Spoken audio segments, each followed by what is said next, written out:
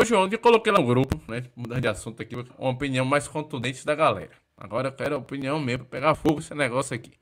É, teve hoje né, uma audiência pública né, envolvendo as autoridades né, e de, é, deputados, enfim, debatendo, João, a questão da torcida mista nos clássicos Bavi. Você quer né, opinião polêmica? Onde, desde 2018.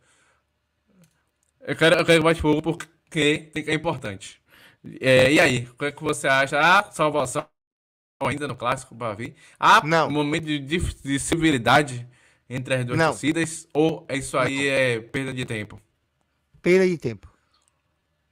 Perda de tempo. Total perda de tempo. Vou explicar por quê. É, entendo. Não havemos, não temos hoje de maturidade.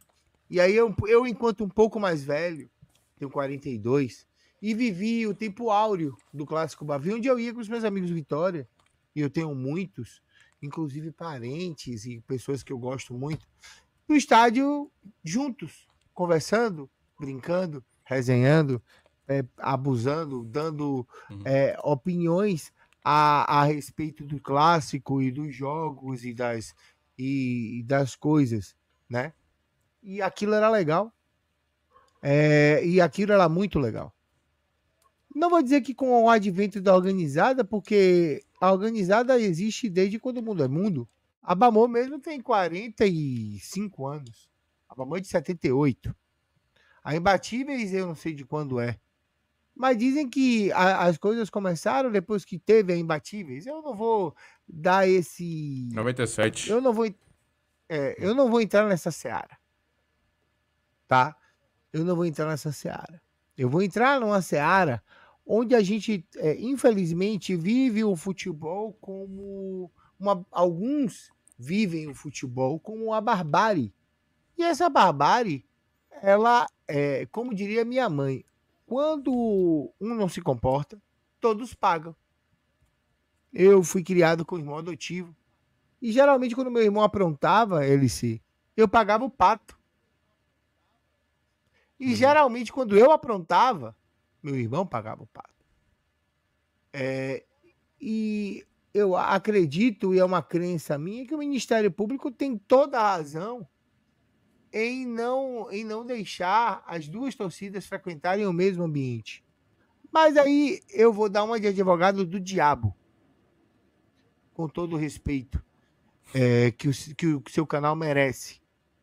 Mas uma cidade que nem Salvador, que comporta um carnaval de milhões, que tem um São João maravilhoso em várias cidades do interior com muita gente. Que tem Festival da Virada, Festival Salvador, Festival de não sei o que, festa de não sei quem, é, festa de não sei aonde. Não comportar, ter policiamento e ter, é, como é que eu posso dizer, segurança para que torcidas de futebol adversárias assistam o jogo na mesma praça sem se matarem Será que não é efetivo para tal? Será que é um problema apenas dos torcedores que são organizados ou não, ou dos marginais envolvidos dentro de ambas as torcidas?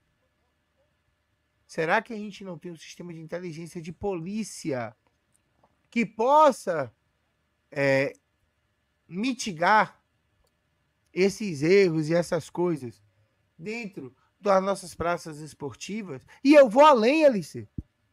Eu vou além. Será que eles desaprenderam como é que faz futebol de torcida mista numa cidade que nem a Bahia, onde já tivemos 140, 120, 110 mil pessoas dentro do estádio que foi a Fonte Nova? com públicos grandiosos dentro do estádio de futebol, onde o, o torcedor baiano que é apaixonado por futebol, tanto Bahia quanto Vitória, será que eles desaprenderam a fazer segurança pública? Ou será que a marginalidade ela é, é, é desenvolvida a ponto de não permitir que se faça segurança pública no estado da Bahia? Eu fico me perguntando e pergunto à sua audiência, à minha audiência, ao Ministério Público, à polícia, à BEP, a policiamento de evento e a tudo mais. Vocês organizam carnaval. Claro, carnaval há suas intercorrências de violência. Mas a cada ano eu acho que menos, tá, Elice? Não sou frequentador do carnaval.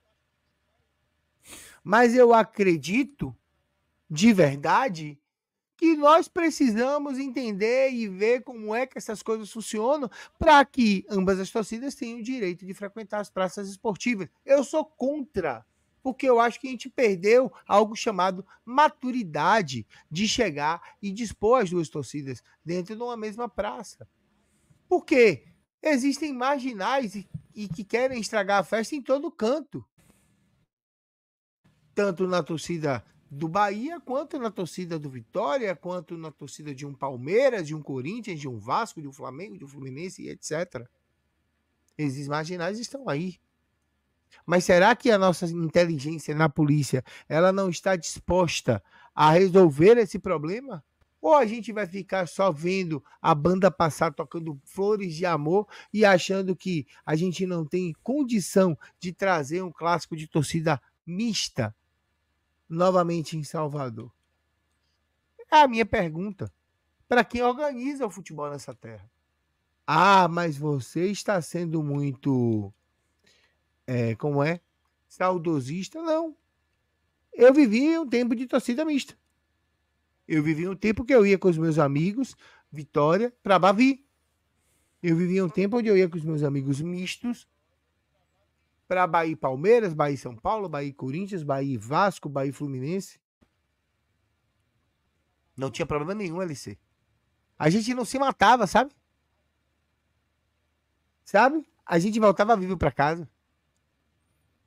E rindo, e brincando, e curtindo, e. e sem se matar.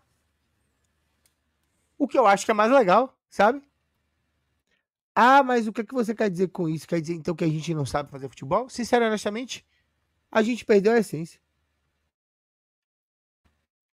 Eu acho que o torcedor baiano perdeu a essência. Se perdeu em algum lugar, sabe, LC? E quando se perde, não tem mais como voltar, meu amigo. Consegue entender? O torcedor se perdeu. E quando ele se perde, não tem mais para onde voltar. Por isso que eu sou contra a torcida mista. Porque a gente deixou a nossa essência para trás. A gente desistiu. É como. Eu vou usar um exemplo triste, mas é como uma pessoa que está num. E é um exemplo que eu vivi recentemente. É como uma pessoa que está no hospital, é, em cima de uma cama, e que tem a possibilidade de viver, e que desiste e que não quer mais viver.